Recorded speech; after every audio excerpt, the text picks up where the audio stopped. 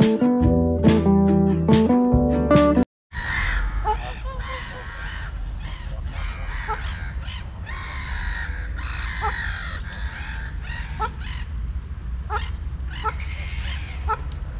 मित्रांनो योगदान फाउंडेशनच्या यूट्यूब चॅनेलवर आपलं स्वागत आहे. चला तर मग आज आपण जाणून घेणार आहोत बदक या पक्षाची माहिती. बदक हा एक उभयचर पक्ष्यांचा वर्ग आहे. हे पक्षी पाणी आणि जमीन या दोन्ही ठिकाणी संचार करू शकतात. बदक हा पक्षी अॅनेटिटी पक्षीकुलाच्या अॅनेटिनी या उपकुलात याचा समावेश केलेला आहे. या उपकुलात सुमारे एकशे वीस जाती असून दक्षिण ध्रुव प्रदेश सोडून जगाच्या निरनिराळ्या भागात ते आढळून येतात. बदक हा पानपक्षी आहे. काही जाती केवळ गोड्या पाण्याच्या जवळपास राहणाऱ्या असतात. काही केवळ समुद्री असून त्यांची वीण नदीमुखाजवळ किंवा समुद्र किनाऱ्यावर होत असते. बदक हंसापेक्षा लहान आणि शरीराने स्थूल असते. मान आणि पाय आखूड असतात. पाय शरीराच्या बऱ्याच मागच्या बाजूला असतात. त्यांचा रंग पिवळा असून त्यांच्यावर पुढे तीन व मागे एक बोट असते. पुढची बोटे पातळ कातडीने जोडलेली असतात. त्यांची चोच मोठी रुंद चपट व पिवळी असते. ती पातळ त्वचेने झाकलेली असते. चोचीच्या दोन्ही कडांवर बारीक दात असतात. सामान्यतः नर व मादी यांच्या शरीराची रंगव्यवस्था वेगळी असते. पाळीव बदकांचा रंग सामान्यपणे पांढरा असतो. पण काहींचा काळा किंवा तपकिरी देखील असतो. त्यात हिरवट चमक असते. काहींचे धड पांढरे पण डोके व मान काळी असते. अंगावरील पिसे अतिशय दाट असून शेपटीच्या बुडाशी असलेल्या तेल ग्रंथींचा स्त्राव बदके आपल्या चोचीने पिसांना नेहमी चोपडतात. त्यामुळे पाण्यात पोहताना ती पाण्याने भिजत नाहीत शरीरावरील कातडीला चिकटून सगळ्या शरीरावर मऊ पिसांचे आवरण असल्यामुळे थंडीपासून निवारण होऊन शरीराची उष्णता कायम राहते. पिसे दरवर्षी गळून पडून नवीन येतात. बदकाचे आयुष्य सात ते दहा वर्षाचे असते. बदक हा पक्षी दक्षिण ध्रुव प्रदेश सोडून जगाच्या निरनिराळ्या भागात आढळून येतो. इंडोनेशिया तैवान व आग्नेय आशियातील काही देशांमध्ये बदकांची संख्या बरीच आहे. अमेरिकेतील साठ टक्के बदके लॉंग आयलंड या भागामध्ये आहेत. बहुसंख्य बदके पूर्व व दक्षिण भारतामध्ये आढळून येतात. एकोणीसशे सहासष्टच्या पशुधन गणनेनुसार भारतातील बदकांची संख्या नव्याण्णव लाखांच्या आसपास होती. पश्चिम बंगालमध्ये त्यांची संख्या ही सर्वात जास्त आहे. म्हणजेच त्रेपन्न लाख तीस हजारांच्या आसपास होती. व त्यानंतर आसाम तामिळनाडू आंध्र प्रदेश केरळ बिहार व ओरिसा या राज्यांचा क्रमांक लागतो.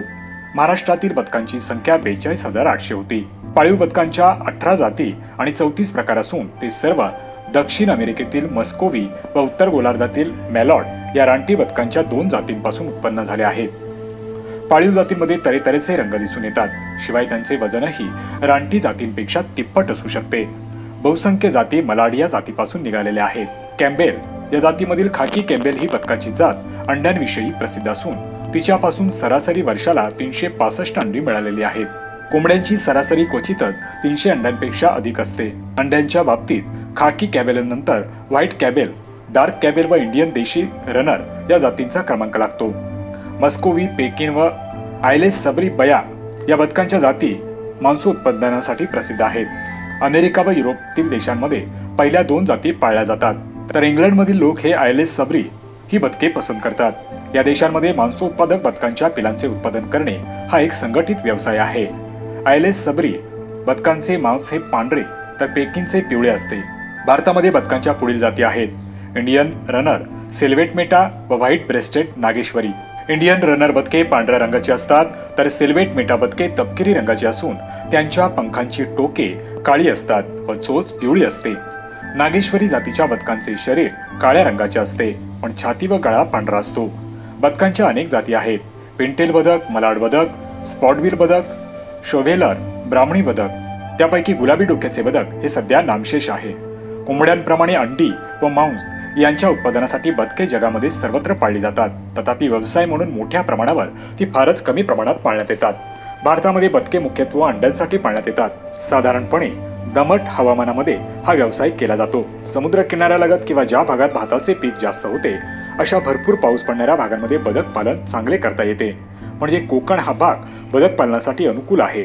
बदकांच्या पालनात कोंबडी पालनापेक्षा काही जास्त फायदे आहेत. बदकांना कोंबडीपेक्षा कमी खाद्य लागते. बदकाचे पालन पिंजऱ्यात न करता साचलेल्या किंवा साचवलेल्या पाण्यात केले जात असल्यामुळे त्यांना पाण्यातच बरेचसे खाद्य सापडते. कोंबडीपेक्षा बदकांची रोगप्रतिकारक शक्ती जास्त असते आणि बदकांची अंडी देण्याची क्षमता देखील जास्त असते. बदकाची मादी कोंबडीपेक्षा वर्षाला चाळीस ते पन्नास जास्त अंडी देते. शिवाय बदकाचे अंडे कोंबडीच्या अंड्यापेक्षा पंधरा ते वीस ग्रॅम जास्त असते. वजनदार असते आणि त्यामध्ये कोंबडीच्या अंड्यापेक्षा अधिक पोषक द्रव्य असतात. बदक सर्वभक्षक आहे. बदक गवत पाणी फळे आणि बारीक मासे सुद्धा खातात. ज्यामुळे बदकांना खाद्य नेहमी मोठ्या प्रमाणावर उपलब्ध होत असते. तर मित्रांनो ही होती बदक या पक्षाविषयी माहिती. तुम्हाला जर ही माहिती आवडली असेल तर लाईक करा आणि शेअर करा. त्याचबरोबर योगदान फाउंडेशनच्या यूट्यूब चॅनेलवर आपण जर नवीन असाल तर चॅनेलला सबस्क्राईब करा. त्याचबरोबर बेलचे चिन्ह दाबा जेणेकरून अशाच नवनवीन पक्षांची माहिती तुमच्यापर्यंत पोहोचत राहील. तर पुन्हा भेटूया नवीन पक्षाच्या माहितीसह योगदान फाउंडेशनच्या यूट्यूब चॅनेलवर धन्यवाद.